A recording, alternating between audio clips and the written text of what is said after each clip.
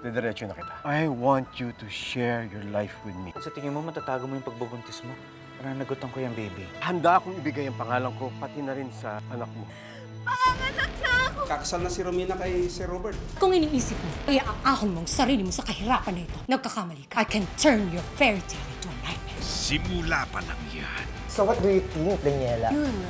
Perfect! Ah! Talagang binahan niyo na yung babaeng yan! Hindi kita aatrasan. Ang iringan ng dalawang ina magpapatuloy sa dalawang anak. Walang mundagon na talunan at walang mundagon na tinatapak-tapakan. Of course. Cassie!